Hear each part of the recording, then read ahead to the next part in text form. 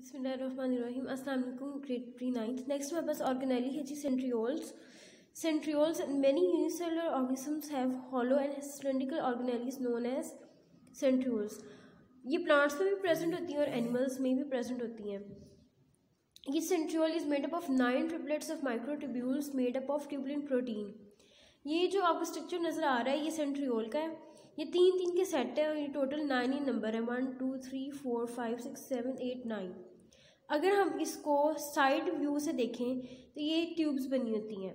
ये ट्यूब्स जिन प्रोटीन से बनी होती हैं, वो कौन सी प्रोटीन है? Tubulin protein animal cells have two centrioles located near the exterior surface of nucleus animal cell में जो है, दो सेंट्रियोल्स होते हैं. यानी कि ये एक बंडल होगा, इसके साथ एक बंडल होगा. The two centrioles are collectively called centrosome जब हमने इनकी इकट्ठी बात करनी है तो इनको हम पढ़ेंगे सेंट्रोसोम अगर इस पूरे की बात करेंगे तो ये क्या होगा? Centriole their function is to help in the formation of spindle fibres during cell division ये इनका फ़ंक्शन है जी सेल डिवीज़न में स्पिंडल फाइबर्स की फॉर्मेशन थ्रेड लाइक स्ट्रक्चर्स को बनाता है. In some cells centrioles are involved in the formation of cilia and flagella जो छोटे छोटे टॉवल के ऊपर आपको धागे नज़र आते हैं ना, उन स्ट्रक्चर्स को हम कहते हैं सीलिया और फ्लैजिला जो कॉकरोच के एंटीना आपको नज़र आता है, आगे से दो हेयर्स नज़र आते हैं, उस स्ट्रक्चर को हम कहते हैं फ्लैजिला।